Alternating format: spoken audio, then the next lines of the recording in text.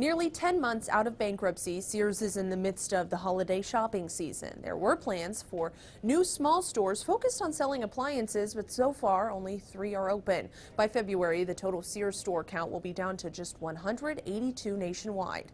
In a statement, Transform Holdco, the owner of Sears, managed by Lampert, said that it, quote, faced a difficult retail environment and other challenges, and it's working to prune its operations. Katie Johnston for CBS Chicago.